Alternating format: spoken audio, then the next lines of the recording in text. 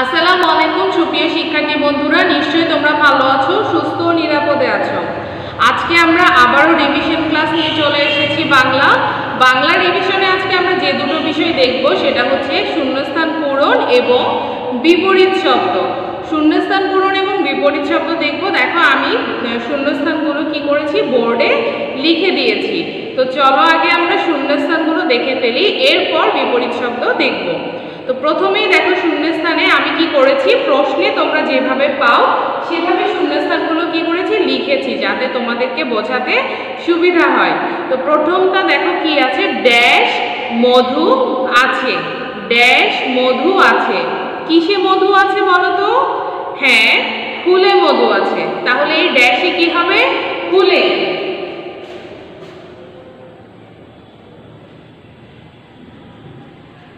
হরসুকার ফুল লয়কালে ফুলে, ম ধরসুক দু মধু আছে সরায়া ছয় কাছে আছে, ফুলে মধু আছে। তারপরটা দেখো, ড্যাশ বধু যায়, ড্যাশ বধু যায়। কি, কীরকম বধু যায় বা কোন বধু যায়? নতুন বধু যায়। তাহলে এখানে কি হবে? নতুন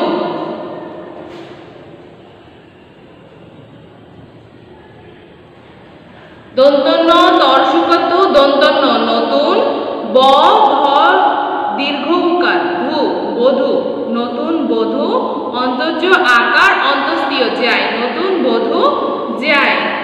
এরপরে দেখো, কৃষক ড্যাশ চাই কৃষক ড্যাশ চাই তাহলে ড্যাশে কি হবে? বৃষ চাই বৃষ মানে হচ্ছে মহিষ। কৃষক কি চাই বৃষ চাই বৃষ।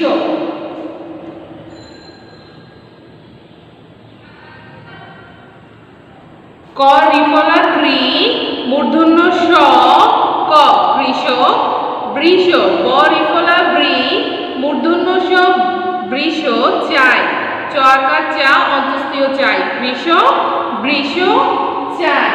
তারপরে আছে ড্যাশ বনে থাকে, ড্যাশ বনে থাকে, কি বনে থাকে? হরিণ বনে থাকে, বাঘ বনে থাকে, আর কি বনে থাকে? মৃগ বনে থাকে। কি জিনিস? মৃগ।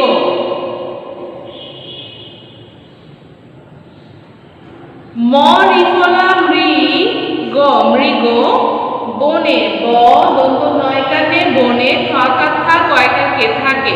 মৃগ বনে থাকে। মৃগ বনে থাকে। ধীরে ড্যাশ বয়, ধীরে ড্যাশ বয়, ধীরে কি বয়? হাওয়া বয় হাওয়া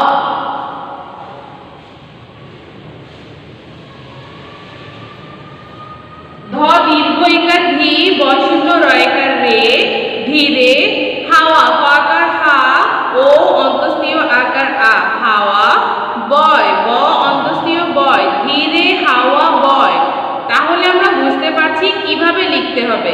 এবং অবশ্যই একটা জিনিস খেয়াল করবে যে এখানে যে শূন্যস্থানগুলো দাগ দিয়ে দিয়েছে আমরা, সেই দাগটা অবশ্যই তোমরা টানবে। যদি দাগটা না দাও, সেক্ষেত্রে কিন্তু নাম্বার কাটা যাবে। যদি তোমরা শূন্যস্থানের দাগটা না দাও আর শূন্যস্থান যদি সম্পূর্ণ বাক্য না লেখো, তাহলেও কিন্তু তোমরা নাম্বার কম পাবে। অনেকেই এর মধ্যে সাময়িক পরীক্ষায় এবং সিটি পরীক্ষাগুলোতে নাম্বার কম পেয়েছ, সম্পূর্ণ না লেখার জন্য। তাই অবশ্যই সম্পূর্ণ শূন্যস্থান লিখবে। ইংরেজিতে ফিল দ্য ব্ল্যাঙ্কস অবশ্যই সম্পূর্ণ লিখবে, যাতে তোমাদের নাম্বার কাটা না যায়। যদি না লিখো, তাহলে কিন্তু অবশ্যই নাম্বার কাটা যাবে। মাঝি ড্যাশ বাই। মাঝি কি by? Majhi তড়ি by. Majhi তড়ি by.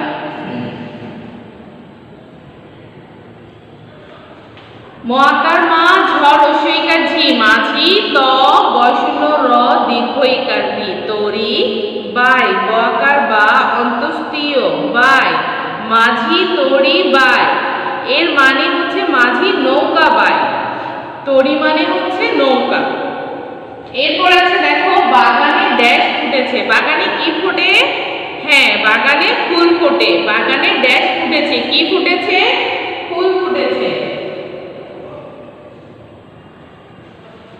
বয়াকার বা বয়াকার গা দন্ত নয়কার নে বাগানে ফুল, পরশুকার ফুল ও ফুল ফুটেছে, পরশুকার ফু টয়কার টে ছয়কার ছে ফুটেছে, বাগানে ফুল ফুটেছে।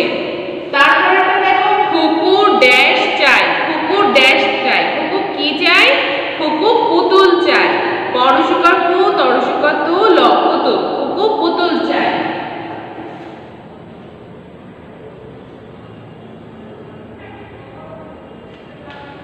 খরশুকর কু খরশুকর কু কু। খু, কু, পুতুল পরশুকর কু, তরশুকর তুল পুতুল চাই। চকার চা চাই। পুতুল চাই। হাবিব ড্যাশ না। হাবিব কি খায় না? হাবিব ঘৃত খায় না। ঘৃত।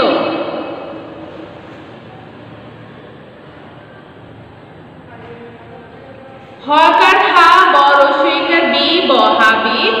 ঘৃত ঘরি বলা ঘৃত খায় না খা অন্তস্তীয় দন্ত নয়কার না খায় না হাবিব ঘৃত খায় না দাদি নানি ড্যাশ ড্যাশ খায়, দাদি নানি ড্যাশ খায়। দাদি নানি কি খায়? দাদি নানি চা খায়। দোয়াকার দা দ দীর্ঘইকার দি দাদি দন্ত নয়াকার না দন্ত ন দীর্ঘইকার নি নানি, দাদি নানি, চ আকার চা খায়, খ আকার খা অন্তস্তীয় খায়, দাদি নানি চা খায়। তাহলে আমরা শূন্যস্থানগুলো প্রথম থেকে দেখি, দেখো সম্পূর্ণ সবগুলো বাক্য মিলেছে। ফুলে মধু আছে, নতুন বধূ যায়, কৃষক বৃষ যায়, মৃগ বনে থাকে, ধীরে হাওয়া বয়। মাঝি তরি বাই বাগানে ফুল ফুটেছে। খুকু পুতুল চায়, হাবিব ঘৃত খায় না। দাদি নানি চা খায় তাহলে এই শূন্যস্থানগুলো তোমরা অবশ্যই কি করবে এইচ ডাব্লিউ নিশ্চয়ই করে ফেলেছো এবং জমা দিয়ে ফেলেছো বাসায় এখন আর এইচ ডাব্লিউ করতে হবে না তোমরা এগুলো রিভিশন করবে বারবার এবং সিডাব্লিউ খাতায় চর্চা করবে যেন পরীক্ষাতে কোনো ভুল না হয় যেহেতু এটা তোমাদের শেষ পরীক্ষা, একটু সুন্দর করে করবে, এরপরে তোমরা নতুন ক্লাসে যেতে পারবে, নতুনভাবে কি পড়াশোনা শুরু করবে, নতুন নতুন বই পড়বে। ঠিক আছে? তাহলে আজকে এই পর্যন্ত সব এবার চলো আমরা যে বিষয়টা দেখব, শূন্যস্থানের পর্বটা শেষ করলাম। এবার দেখব বিপরীত শব্দ। তো চলো বিপরীত শব্দগুলো একটু দেখি। এখন দেখো, আমি বিপরীত শব্দগুলো বোর্ডে লিখেছি। এর পাশাপাশি তোমাদের লেসন প্ল্যানে তো আছেই, এখানেও দেখো বইয়ে আছে এগুলো। তোমাদের জন্য বইয়েও আছে। তোমাদের বইয়ের এই অংশটাই তোমাদের জন্য পরীক্ষাতে দেওয়া হয়েছে। তো চলো তাহলে আমরা সেগুলো একটু দেখি। মূল শব্দ, বিপরীত শব্দ। মূল শব্দগুলো পরীক্ষার প্রশ্নে দেয়া থাকে, সেখান থেকে কি হয়? বিপরীত শব্দগুলো লিখতে হয়।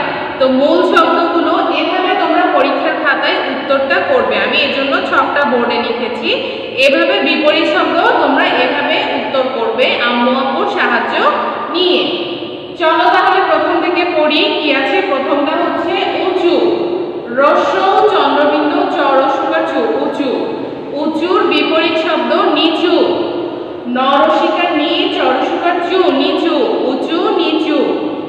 ভয়কার ভে ত বৈষ্ণর ভেতর বিপরীত শব্দ বাহির বয়াকার বা হরসিকার কি বৈষ্ণর বাহির উপর রস প বৈষ্ণর উপর বিপরীত শব্দ, দন্তন্য, দীর্ঘ এটা নিচ অনিচ ভালো ভাকার ভালো, অকালো, ভালো। মন্দ ম দন্ত নয় দ। মন্দ জমা, বর্গীয় জ মহাকার মা জমা খরচ খ বৈষ্ণর চ খরচ গরম গ বৈষ্ণর ম গরম ঠান্ডা ঠাকার ঠা দন্ত নয় ড আকার ঠান্ডা ধনী ধ দন্ত ন দীর্ঘ ইকার নি ধনী গরিব গ বৈষ্ণর রস্যইকার ব গরিব দেশ, দয়কার দে তালবস দেশ। বিদেশ বর্ষিকার বি, দয়কার দে তালবস বিদেশ। সত্য, দন্ত, স, ত, জফলা, সত্য। মিথ্যা মরশিকার মি থ, জফলা, আকার, মিথ্যা। সৎ, দন্ত, স, খণ্ডত, সৎ। অসৎ সরেয় দন্ত, স, খণ্ডত, অসৎ। তাহলে আমরা বানান পড়ে ফেলেছি, তাই না? চলো একবার আবার পড়ি। উঁচু, নিচু, ভেতর, বাহির, উপর, নিচ। ভালো, মন্দ, জমা, খরচ, গরম, ঠান্ডা।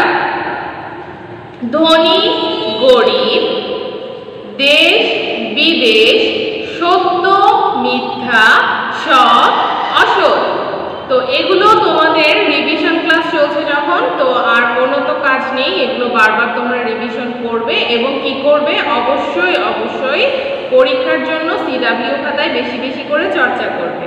তো সবাই তাহলে ভালো থেকো। আজকে এখানেই শেষ করছি। আল্লাহ হাফেজ। আসসালামু